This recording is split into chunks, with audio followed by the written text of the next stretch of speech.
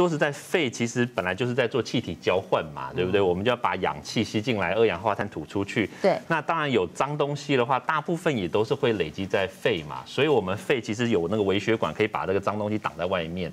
但是像 PM 二点五这种东西，它跑进来之后，哎，确实哦，百分之九十几的 PM 二点五它都会累积在肺里面。九十几对哦，，所以其实这个关键就在于说，现在有很多人因为吸了 PM 二点五，可能会造成一些疾病啊，肺腺癌啊，对不对？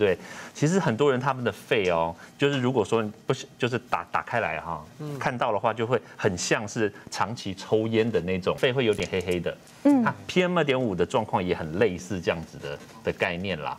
对，所以就等于是说，你长期暴露在这种高污染的环境之下的话，你的肺可能就会有一些病变。嗯，对，就会是这样。